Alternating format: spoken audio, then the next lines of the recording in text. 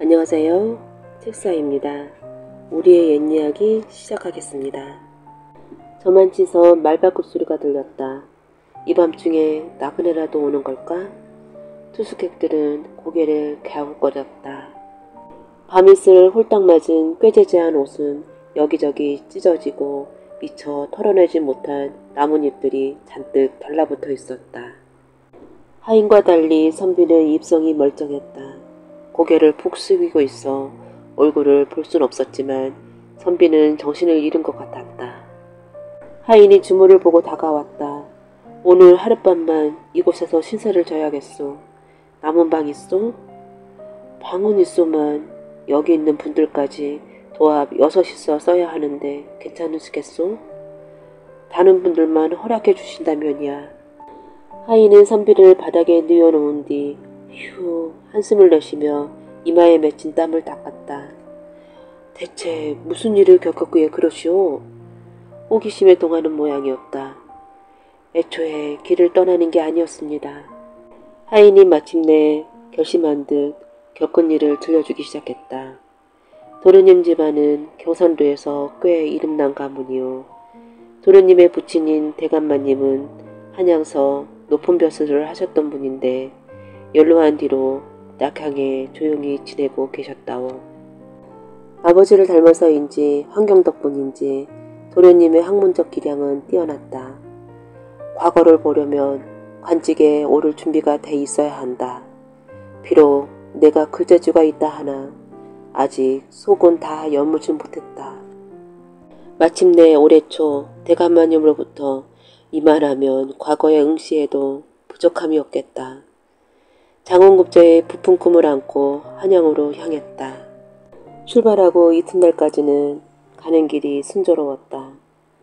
이대로라면 도련님은 대감마님이 미리 기배를 넣어둔 한양 지인 댁에 예정대로 도착해서 여독을 불면서 느긋하게 시험 준비를 할 수 있을 터였다. 그런데 사흘째 되던 날 산속에서 길을 잃고 말았다. 도련님은 물론이고 하인조차 처음 가보는 산길이다 보니 어디가 어딘지 분간할 수가 없었다. 어느새 주변은 짙게 어둠이 내려앉았다. 대체 얼마나 더 가야 민가가 나온단 말이냐? 그러게 말입니다. 어서 빨리 오늘 밤 몸을 누이실 곳을 찾아야 할 텐데. 멀리서 늑대 울음소리가 들렸다. 늑대는 한두 마리가 아닌 모양이었다. 애가탄 도련님이 거듭 재촉했다. 하지만 외딴 산속에 사람 사는 곳이 나올 리가 만무했다.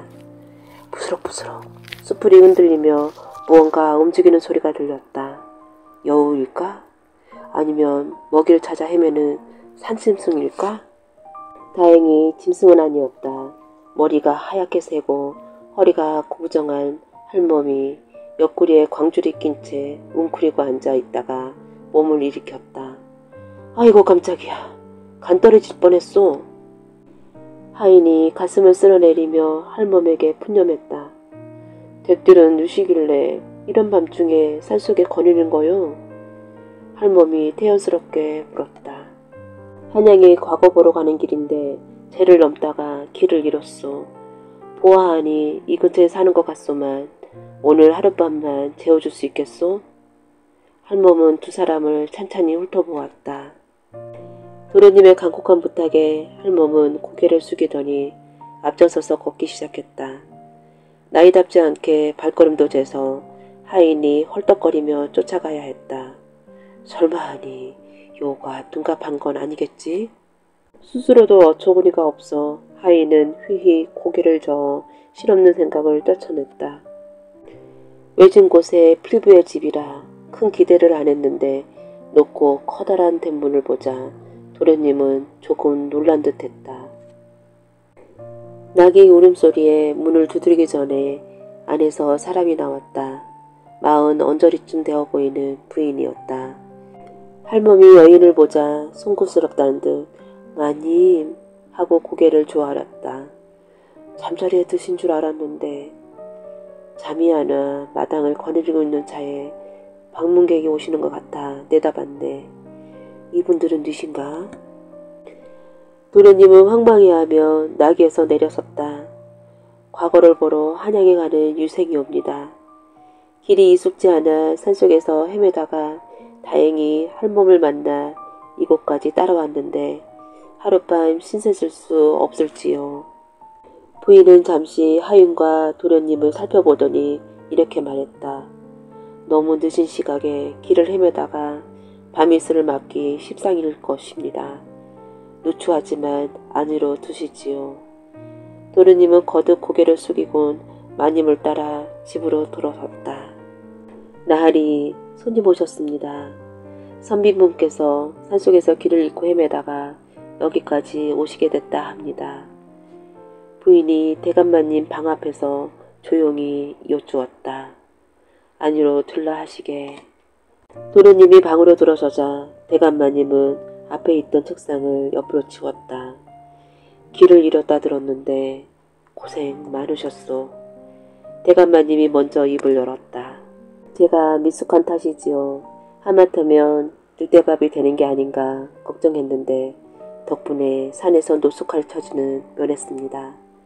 대감마님이 허허 웃었다. 도련님은 말문이 막혔다. 과거를 보러 가는 길이라 들었소만. 대감마님이 고개를 들었다. 그렇습니다. 그렇다면 관직에 오르려는 생각이겠지? 네. 권력은 허망한 것이라오. 할 수 있다면 처음부터 그 허망함에 발을 딛지 않는 게 제일이지. 방 안에는 어색한 침묵이 감돌았다.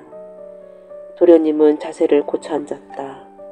도련님이 묵는 곳은 주인마님의 사랑채에서 조금 떨어진 작은 방이었다. 이토록 인정이 드문 곳에 이렇게 훌륭한 집을 찾다니 참으로 운이 좋군. 그런 생각을 하며 잠자리에 누웠다.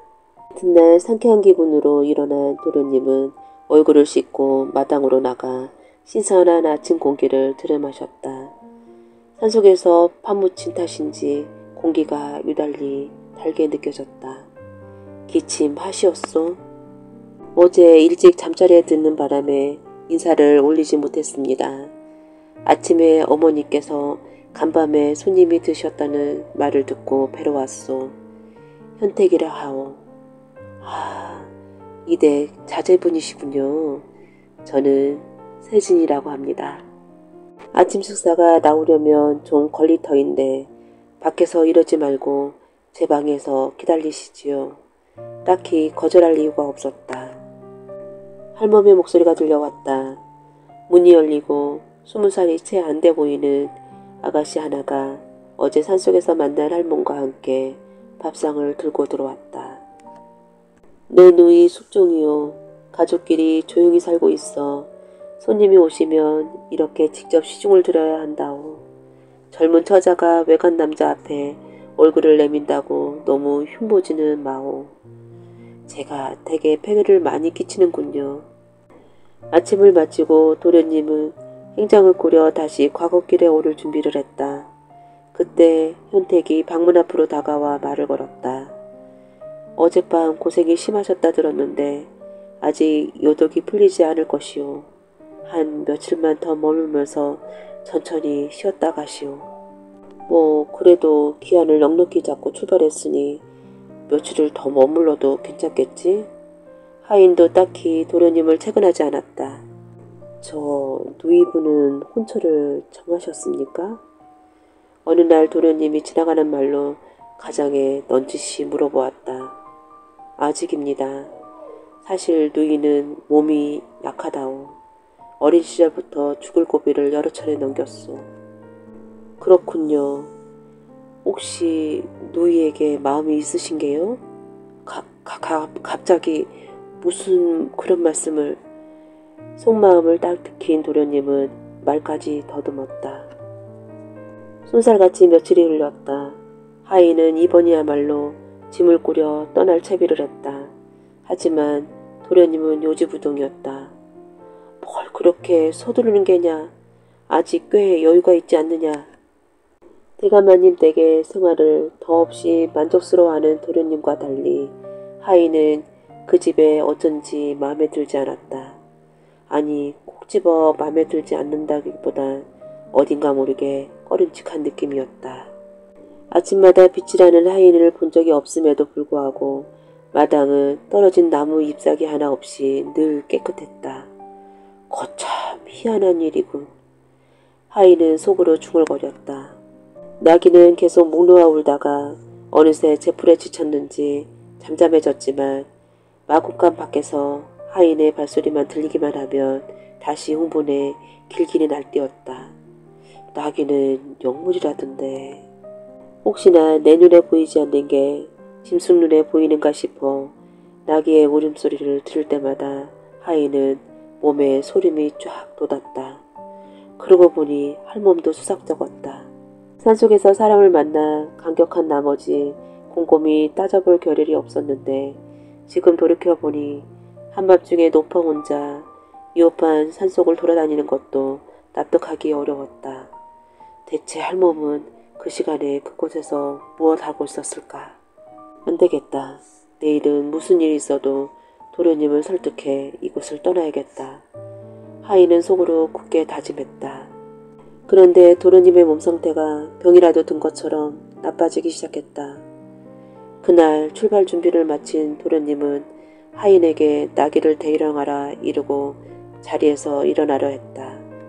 그러나 미처 한 발도 떼기도 전에 그대로 자리에 주저앉고 말았다. 놀란 하인이 달려와 몸을 일으켰다. 글쎄다, 이거 참 이상하구나. 하인이 옆에서 부축하자 도련님이 가신히 일어나 몇 발짝 때려다가 또다시 스르르 무너졌다. 허허, 어젯밤에 함께 약주를 한 것이 과했네 보구려. 등 뒤에서 현택의 목소리가 들렸다. 이래서야 어디 먼 길 떠나겠소? 하인은 혼란스러운 눈으로 도련님을 찬찬히 뜯어보았다. 술에 취한 것은 아니었다. 술 냄새도 나지 않을 뿐더러 도련님의 몸은 술에 취해 축 늘어졌을 때와는 무언가 달라졌다. 그날 하인은 밤새 잠을 설쳤다. 잠자리에서 내내 뒤척이다가 손잠을 들었는데 꿈자리도 어쩐지 뒤숭숭했다. 도련님 걱정에 마음이 불안한 탓이었다. 쩌잡한 마음으로 멀거니 천정을 쳐다보던 하인은 소변이 마려워 주섬주섬 옷을 챙겨 입고 습관으로 향했다. 이를 보고 나오는데 연못가에 네 식구가 모여 있었다. 다들 무엇 하고 있는 걸까? 하인은 나무 뒤에 몸을 숙이고 길을 쫑긋 세웠다. 이제 거의 다 되었습니다. 안방마님의 목소리였다. 그런가? 다들 고생 많았네. 대감마님의 낮은 음성도 들렸다. 무슨 꿍꿍이가 있는지 모르나 도련님께 해를 입히려고 작정한 게 분명했다. 도련님, 도련님, 어서 일어나십시오. 빨리 여기를 떠나야 합니다. 하인이 목소리를 죽인 채 도련님을 흔들어 깨웠다. 도련님은 눈을 떠서 하인을 쳐다보더니 곧 다시 눈꺼풀을 스르르 닫아버렸다. 이를 어쩐다. 하인은 할 말을 잃었다. 도련님, 정신 차리세요. 여기서 이러고 있을 때가 아닙니다. 도련님은 축 늘어진 채 미동도 없었다.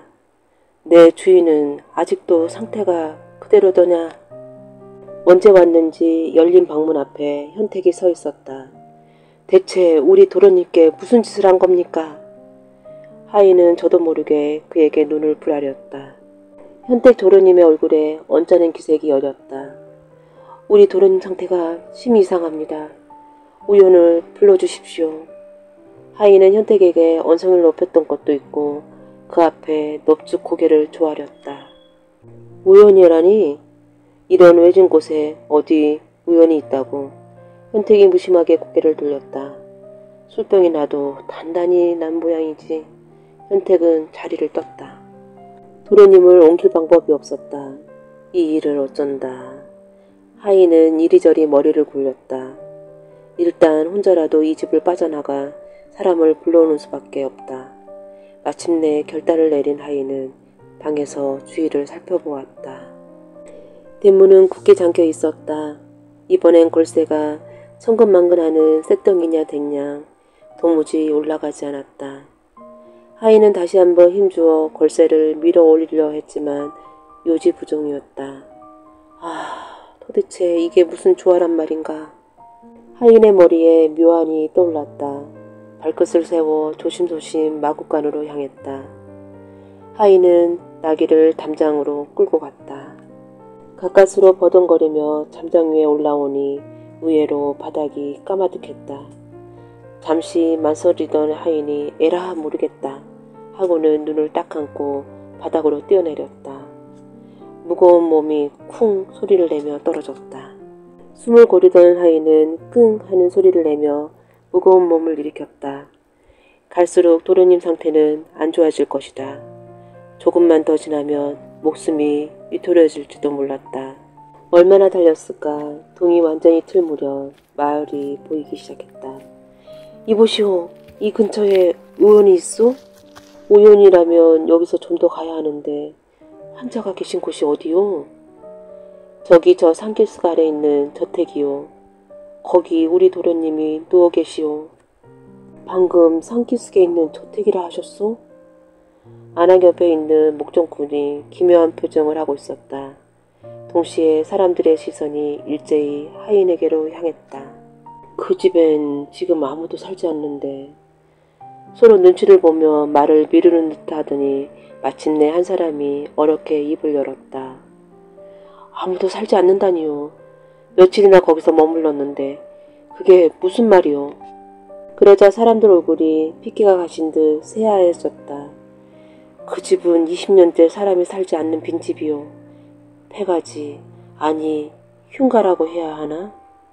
흉가라니 뜻밖의 말에 하인의 눈이 휘둥그러졌다. 20년 전 그 집 대감마님이 역적으로 몰려 일가족 전부 떼죽음을 당했소. 그런 뒤 다들 불길하다 해서 아무도 그 집에 살려고 하지 않았지. 그러면 내가 본 그 사람들은 전부 누구란 말이오. 하인의 귀에 덜덜 떨리는 자신의 목소리가 들렸다. 머리털이 쭉 뻗어고 등골이 서늘해졌다. 우린 들 알겠소. 다만 그 집 대감마님의 슬하에 한창 나이인 아드님과 이모가 탁월한 따님이 있었다고들 하더이다. 그들이 이 세상 사람이 아니라면 귀신들이 우글거리는 집에 혼자 남아있는 도련님이 위험해 정신이 번뜩 든 하인은 황급히 몸을 일으켜 다시 왔던 길을 달리기 시작했다. 한참을 달리던 하인은 문득 이상한 생각이 들어 발걸음을 멈추었다. 꽤 달려왔는데 여전히 같은 곳을 뱅뱅 돌고 있는 기분이었다. 이럴 리가 없는데. 하인은 주변을 돌아보았다. 그러고 보니 아까 저 나무를 지나치면서 본 것 같았다. 벌써 어둠이 어둑어둑 내려앉았다. 저택에 도착해도 한참 전에 도착했어야 할 시간이었다. 이게 어찌된 조화야. 몸이 덜덜 떨려왔다. 이제는 어디로 가야 할지 확신도 없이 하인은 저택이 있다고 생각하는 방향으로 휘청휘청 발걸음을 옮겼다. 그때 어디선가 바스락바스락 나뭇잎 밟는 소리가 나더니 사람 목소리가 들렸다. 걱정하지 마시오. 늑대는 우리가 무서워서 여기까지 오지 못한다니까요. 고개를 들어보니 대감집 할멈이었다. 대, 대, 댁도 귀신이요? 정신을 바짝 차려야 한다고 되뇌었지만 겁에 질려 혀가 잘 돌아가지 않았다. 할멈은 당황하는 기색도 없이 덤덤했다. 이 세상 사람이 아니냐고 묻는 거라면 그렇소. 난 이미 20년 전에 숨이 끊어진 몸이오. 대감마님, 내읍은, 현택도련님, 숙정아가씨 다 마찬가지라오. 대체 뭘 오라는 거요? 왜 도련님과 나에게 이런 짓을 하는 거요? 하인은 가까스로 용기를 짜내 물었다. 20년 전 대감마님께선 역적으로 몰려 능지처참 당하셨소. 아버지를 닮아 능력의 출중했던 현택도련님도 영모에 가담했다는 제목으로 같은 형벌을 받으셨고 그 당시 마님을 역적으로 몰아붙였던 사람이 바로 당신 도련님의 아버지요. 그 그런 우리 대감마님은 그런 일을 하실 분이 아니오. 당신은 한갓 대감마님의 하인이 아니오. 어찌 그분의 진면목까지 속속들이 안다 할 수 있겠소. 하인은 말문이 막혔다.